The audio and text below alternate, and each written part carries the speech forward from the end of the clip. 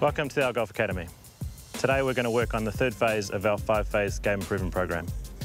Today with us we have a uh, celebrity come golfer who's been working with the Institute of Golf for a while, uh, Shane Cortez. Uh, he's going to be here to show us uh, what he's been working on for a while here at the Institute of Golf, uh, the third phase of the five-phase game improvement program, which we call the load and lever systems. What you'll find today is we'll work on how to get the club from the second position to the top effectively and really efficiently. Once we get to the second position here, we're going to use the arms and the elbows to allow the club to work to the top of the backswing so we get a nice straight line from the club to here from the camera angle.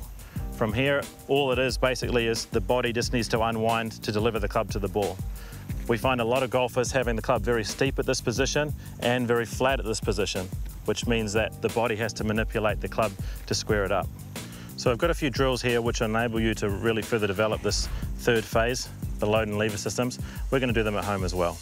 So what I'll get you to do is grip down the grip so your bottom hand is on the shaft of the club. Then we're going to get through to the second position and then load to the top.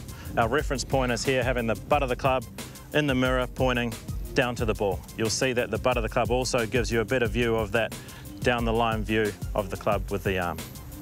So the second drill we're going to be doing is one that we can do at the driving range called the pause drill.